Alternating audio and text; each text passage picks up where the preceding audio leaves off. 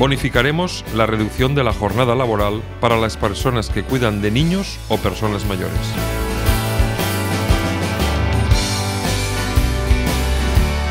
Soy Enrique Morera y este es mi compromiso. 50.000 puestos de trabajo para cuidar niños y personas mayores.